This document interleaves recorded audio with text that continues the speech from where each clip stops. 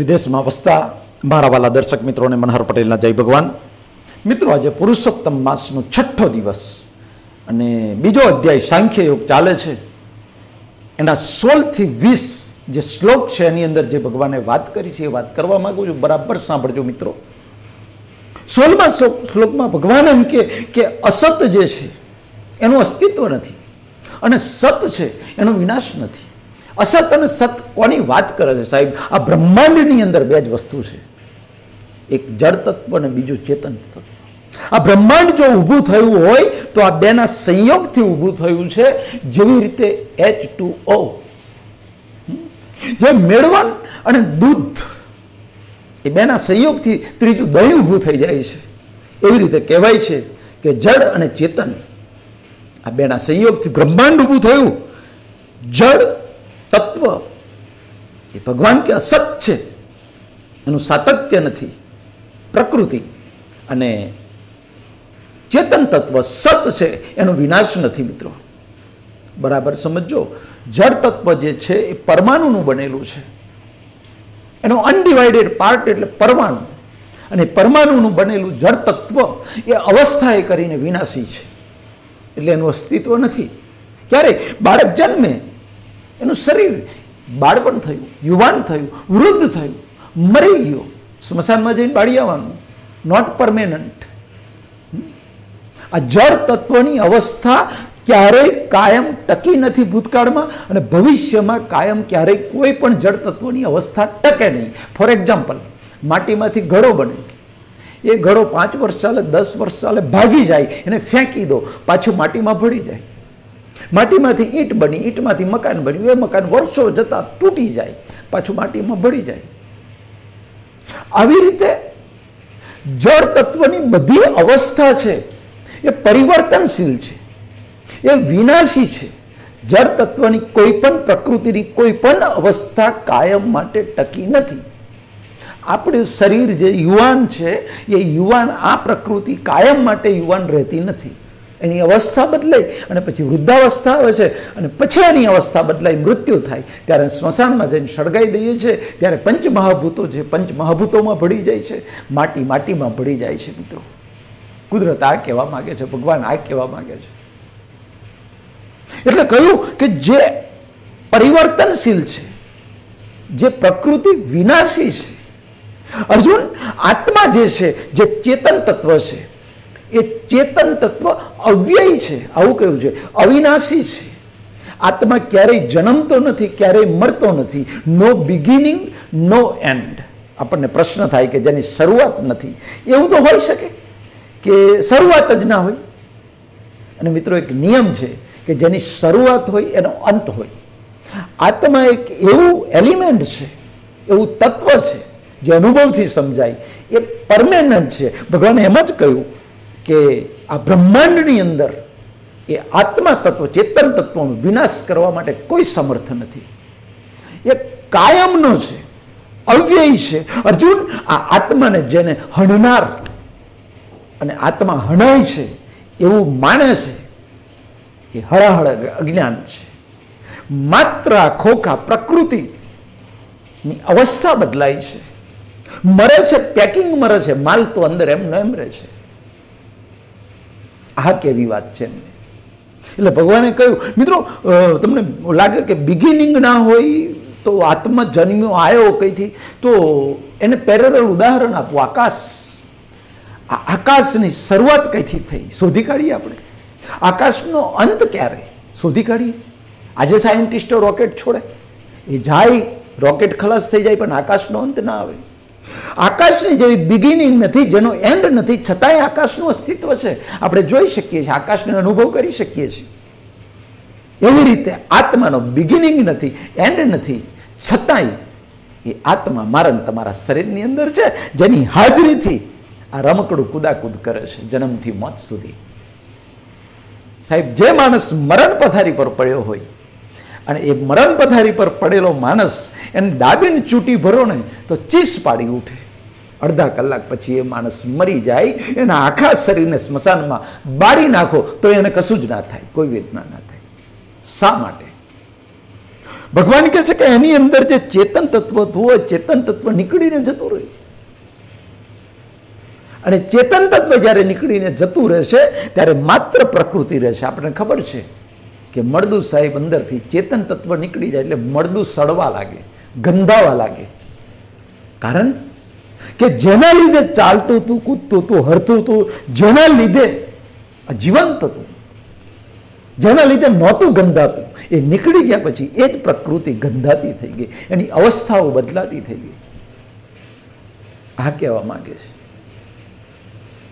એટલે અર્જુન, તું એમ જાણતો હોય કે દાદા ગુરુ છે, આ બધાને હું મારી નાખીશ એ એ તારે નથી જોવાનું, તારે તો આ ધર્મયુદ્ધ છે. અને ધર્મ યુદ્ધમાં ધર્મના પક્ષે રહી અને આવી પડેલા સંજોગનો નિકાલ કરવાનો છે રાગ દ્વેષ વગર. અને રાગ દ્વેષ વગર તારે યુદ્ધ કરવાનું છે. અને યુદ્ધમાં માત્ર તું નિમિત્ત છું. અને જે માણસ આત્માને કોઈ ઇન્દ્રિયો નથી, આવો સૂક્ષ્મ છે આત્મા. અને એટલે સાહેબ, મૃત્યુ થઈ જાય છે ને, તે વખતે મરણ પથારી પર પડેલો માણસ એની ચારે બાજુ બધા માણસ બેઠા હોય. આત્મા નીકળી જાય છે, કોઈને દેખાતો નથી, ખબર નથી પડતી. સાયન્ટિસ્ટો થાકી ગયા યાર. વિચાર કરો. આટલો સૂક્ષ્મ આત્મા છે. અકલ્પ, કલ્પનામાં નથી આવે, વર્ણન થઈ શકે એવું, ચિંતન કરી શકાય એવું નથી. એ તત્વ તો અવિનાશી છે. તું દાદા ગુરુ ના બધાઓને મરેલા માનું છું. એ તું નહીં મારું. તોય એક દિવસ મરવાના છે. કારણ કે નાશવંત શરીરો જીવ માત્રના એ મરવાના છે. કોઈ આનો દૂર આની, આનો અવળો અર્થ લે? હા, તો પછી આપણે આપણે માની લીધું દરેકની અંદર આત્મા છે. તો આપણને તો દોષ નહીં લાગે ને. અને આપણે કહે છે કે કોઈની ચોરી કરીએ, કોઈને મારીએ, કોઈનો બળાત્કાર કરે, તો આ બધામાં દોષ ના લાગે ને. કારણ કે આપણે તો માની લીધું કે હું આત્મા છે, આત્મા કોઈ ક્રિયા કરતો નથી. મારો આત્મા કોઈ ક્રિયા કરતો નથી. ના ભાઈ, ભૂલે ચૂકે. આ જ્ઞાનનો દુરુપયોગ ના થાય એટલે વચ્ચે વચ્ચે મારે ચોખવટ કરવી પડશે. અર્જુનને જે યુદ્ધ આવ્યું ને આવી પડેલો સંજોગ હતો, ઊભો કરેલો સંજોગ નહોતો. ના છૂટકે યુદ્ધનો સહારો લેવો પડ્યો. દુર્યોધન ના માન્યો એટલે. અને એ યુદ્ધમાં આયુષ્ય કર્મમાં દાદા, ગુરુ એ બધુંનું, બધાનું આયુષ્ય કર્મ પૂરું થવાનો સમય અર્જુન એનો નિમિત્ત બનવાનો હતો. આપણે જ્યારે કોઈ સંજોગ ઊભો કરીએ, ચોરી કરવાનો સંજોગ, કોઈ બળાત્કાર કરવાના ભાવ જાગે, ખરાબ કાર્ય કરવાના ભાગ ભાવ જાગે, આ જ્ઞાનમાં એવું તમે સમજો કે ના ના, હું તો આ એના શરીર એના શરીરને જે કરું, શરીરને જોઉં છું, અંદરના આત્માને તો કઈ અડું છું યાર. ભગવાન કહે છે કે સર્વસ્ય ચાહમ હૃદયસન નિવિષ્ઠો. એટલે જીવ માત્ર મમય વાંશો જીવ લો કે જીવ માત્ર મારો અંશ છે. એટલે મિત્રો, જ્યારે માણસ ખરાબ કર્મ, જ્યારે કોઈ સંજોગ હું ઊભો કરું મારી જાતે, ખરાબ કર્મ કરવાનો, પાપ કરવાનો, બીજાને દુઃખી કરવાનો, મારા સ્વાર્થ માટે બીજાને દુઃખી કરવાનો સંજોગ, જ્યારે હું પોતે ઊભું કરું, ઊભો કરું ને ત્યારે સાહેબ હંડ્રેડ પર્સન્ટ દુઃખ લાગે. હંડ્રેડ પર્સન્ટ પાપ લાગે. અને એ પાપ ભોગવવું પડે. એક લાખ ટકા ભોગવવું પડે. એમાંથી કોઈ ના છટકી શકે. કારણ કે એની પાસે આ જ્ઞાન નથી. અને જ્ઞાન હોય તો એવો સંજોગ ઊભો જ ના થાય. સાહેબ, એટલે મેં કહું છું કે પોલીસ દંડા દંડા મારી મારીને માંસાહાર કરાવે અને માંસાહારમાં સહેજે રસ ના હોય. એ આવી પડેલો સંજોગ કહેવાય. અને મસ્તીથી હોટલમાં જઈ અને માંસાહાર કરે, ડીશ મંગાવે અને મસ્તીથી ખાતો હોય ને, એ તો એનો ઊભો કરેલો સંજોગ છે. એવી રીતે દરેકની અંદર સારા કર્મો ને ખરાબ કર્મો. ખરાબ કર્મો માટે ઊભો કરેલો સંજોગ હશે તો એનું પાપ બંધાશે. અને સત્કર્મો માટે સંજોગો ઊભા કર્યા છે સારા ભાવ કર્યા છે તો એનું પુણ્ય બંધાશે. બંનેનું ફળ ભોગવવું પડે છે. ભગવદ્ ગીતાનું જ્ઞાન એ પાપ અને પુણ્યથી ઉપરનું છે. એ આગળ તેરમા અધ્યાયમાં આવશે મિત્રો. પાપ અને પુણ્ય બંનેથી ઉપરનું છે. પ્રકૃતિના બંધનમાંથી છૂટવાનું જ્ઞાન છે. એ આગળ આવશે. એટલે ખાસ ધ્યાનમાં રાખજો મિત્રો. કે આવી પડેલું યુદ્ધ છે અને અર્જુન એવું માનતો હતો કે મારે દાદાને ગુરુને માનવા, મારવાના છે. એટલે કરતાપણાનો જે અહંકાર હતો, અહંકાર કાઢવા માટે આત્માને પ્રકૃતિનો ભેદ બતાવે છે ભગવાન. કે તું એમ માનતો હોય કે દાદા, ગુરુ આ બધાને હું મારી નાખીશ તો જ મરી જશે, તો એ અહંકાર મિથ્યા છે. કારણ કે માનસ બાળક જ્યારે જન્મે છે ને, ત્યારથી ગોટું સ્મશાન.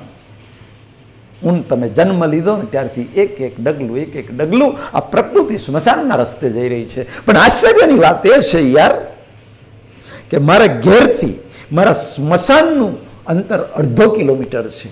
એ અડધો કિલોમીટરનું અંતર કાપતા કાપતા મને સિત્તેર એંસી વર્ષ લાગી જાય છે આ જિંદગીમાં. એ જગ્યાએ પહોંચવા માટે. એટલે મિત્રો, ભગવાન કહે છે કે તું એમ માનતો હોય પણ આયુષ્ય કર્મ છે. અને આયુષ્ય કર્મ, દાખલા તરીકે આવ્યું હું હાર્ટ એટેકથી મારું મૃત્યુ લખેલું હોય. આયુષ્ય કર્મ એ નિકાચિત કર્મ કહેવાય. જેને ઘાત ના કરી શકાય, જે કર્મને ટાળી ના શકાય. સાહેબ, એક ક્ષણે આયુષ્ય કર્મ માણસ જે લઈને આવ્યો હોય, એક ક્ષણે ગમે તે સંજોગ આવે. આમ ઊભો રહ્યો હોય, દિવાલ પડે એની ઉપર હાર્ટ એટેક આવે. એને કોઈ બીમારી ના હોય છતાં ઊંઘમાં બીજું હોય, માન લો સાપ કરડી ગયો. કોઈ પણ સંજોગ એનું આયુષ્ય કર્મ આવ્યું. પણ ખાસ યાદ રાખજો કે મિત્રો, કૃષ્ણ ભગવાને અર્જુનને એટલા માટે આ જ્ઞાન આપ્યું કે ધર્મયુદ્ધ હતું.